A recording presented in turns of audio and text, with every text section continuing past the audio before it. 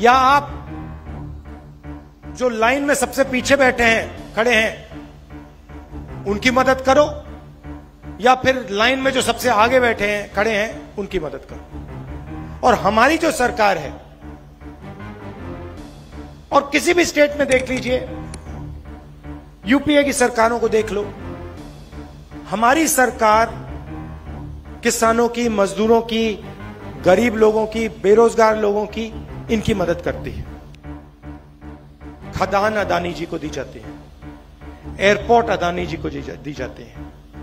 Ports Adani जी को दिए जाते हैं। कानून बनाए जाते हैं। किसान के खिलाफ जो कानून बनाए गए, वो कानून अदानी जी की मदद करने हिमाचल प्रदेश में आप जाइए, सेब का पूरा का पूरा बिज़नेस अदानी जी के हाथ में। जम्मू कश्मीर जाइए, वहाँ पे सेब का बिज़नेस अदानी जी के हाथ में।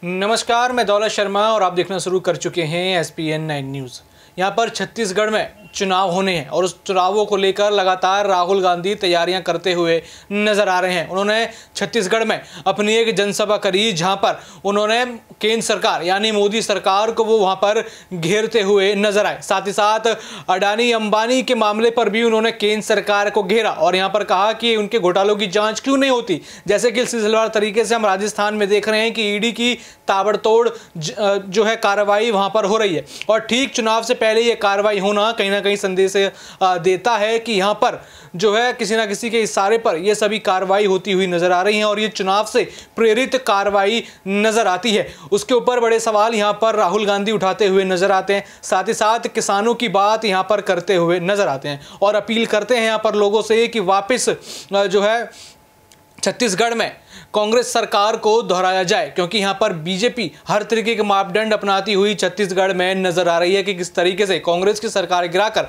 यहाँ पर विधानसभा चुनावों में अपनी धाक जमाई जा सके, क्योंकि 2024 में लोकसभा का चुनाव यहाँ पर करीब है। और उससे पहले पाँच विधानसभा चुनावों में बीजेपी ज़्यादा से ज़्यादा चुनाव यहाँ पर जीतना चाहेगी, अपने राज्यों को अपने पास लेना चाहेगी, जिससे लोकसभा चुनावों में काफ़ी मदद जो है उन राज्यों से मिल सके और लोकसभा सीटें यहाँ पर उनके खाते में आ सके। लेकिन यहाँ पर राहुल गांधी लगातार हमला मारते हुए मोदी सरकार पर नज़र आ रहे हैं। सबसे पहले आपको सुनाते हैं कि इस जनसभा में राहुल गांधी ने किस तरीके से मोदी सरकार को यहाँ पर बड़ा चैलेंज दिया।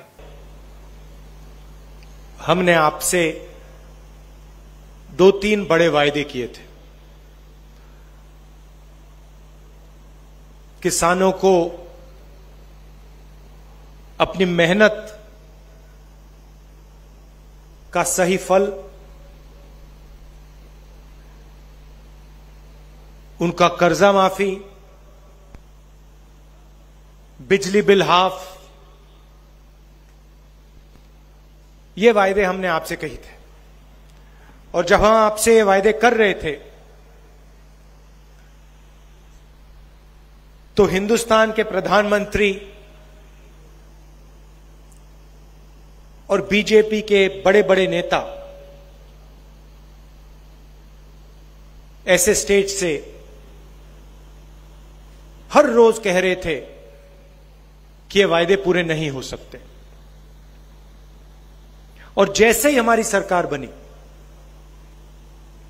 ऐसी मीटिंग में पाँच साल पहले हमने कहा था, जैसे हमारी सरकार बनेगी, समय नहीं लगेगा, एकदम जो हमने वायदे किए हैं, उनको हम पूरा करेंगे।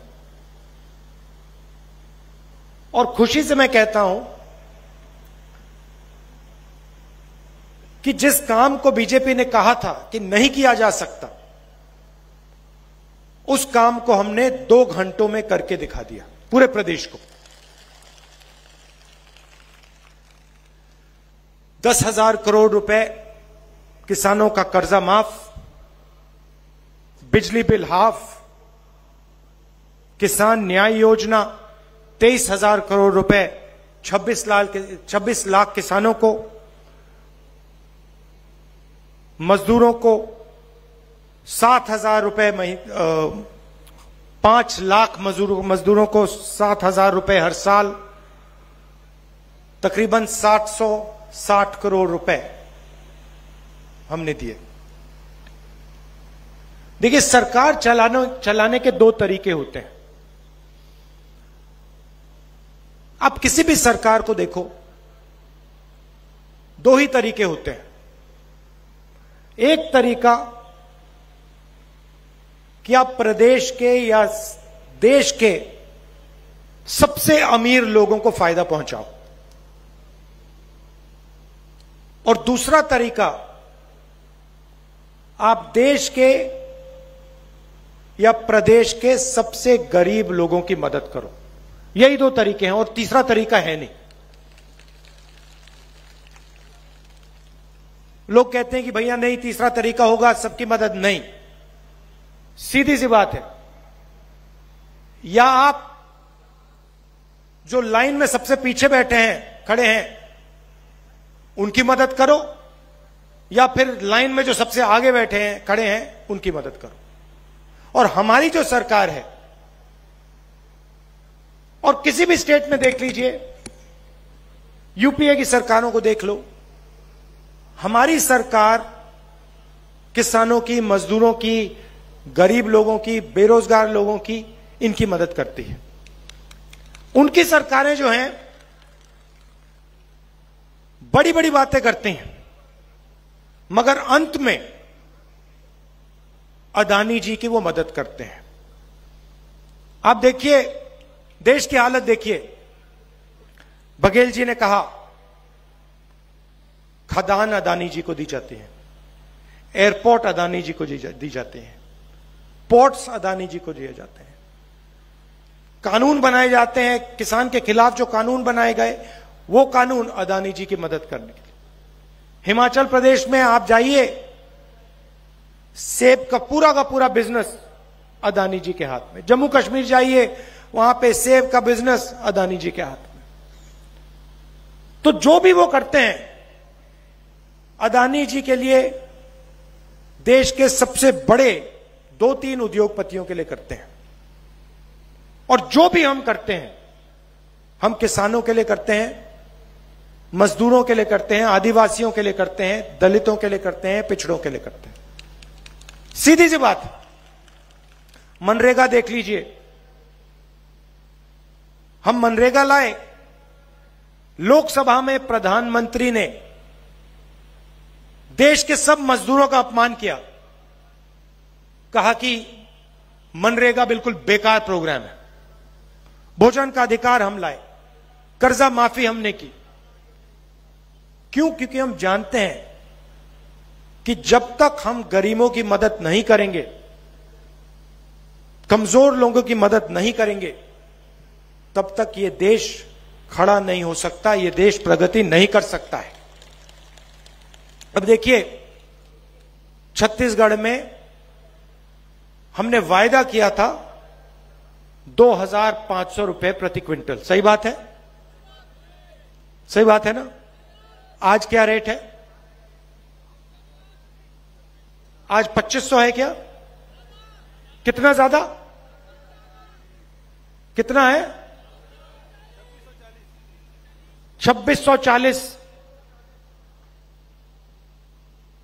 और यहाँ सारे लोग जानते हैं कि आज 2640 है। कांग्रेस पार्टी ने वायदा किया था 2500 का, और आने वाले समय में जाके वो 3000 तक पहुंचेगा। सब जानते हैं। पूरा प्रदेश जानता है।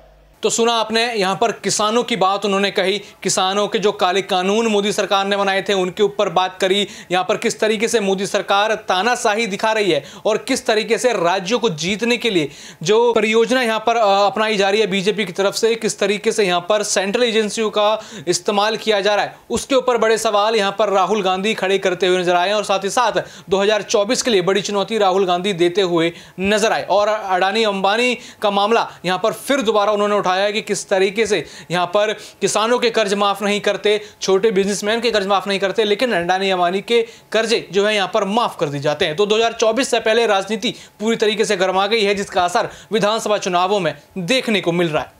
बाकी और भी ऐसी खबरें जानने के लिए देखते रहिए एस पी न्यूज़ धन्यवाद।